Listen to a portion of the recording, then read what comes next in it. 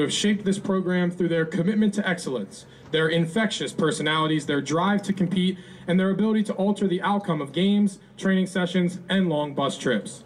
They have reinforced the culture we are building within the Salisbury University women's soccer program, starting with helping create a family unit amongst the team that will endure long beyond their time at SU, helping to create a competitive training environment that held their teammates accountable while leaving room for learning through trial and error. They also created a safe environment amongst their peers where they can show vulnerability, empathy, jubilation, and love for each other.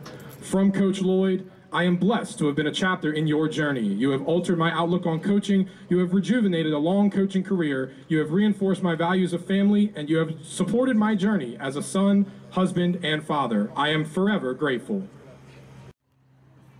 Next up, number six, Tori Pietuszka.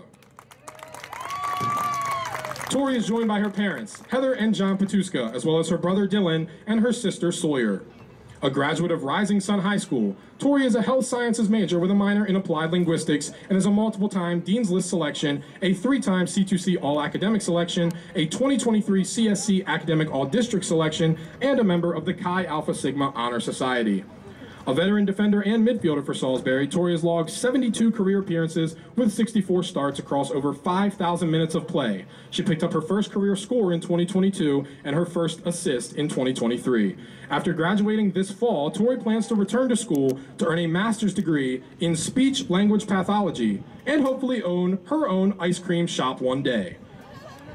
From Coach Lloyd, Though we started on separate pages in our journey, I would not change a thing. The trust we have in each other to be honest, forthcoming, and empathetic has allowed me to adapt my coaching style, have a better vibe for your class and for your teammates. To watch you grow in the game, embrace being comfortable with the uncomfortable, has been amazing to watch. You are our anchor that allows us to take risks, be creative, and push to be the best version of ourselves. Your vulnerability is our strength, and we appreciate your leadership. Ladies and gentlemen, Tori Pietuszka.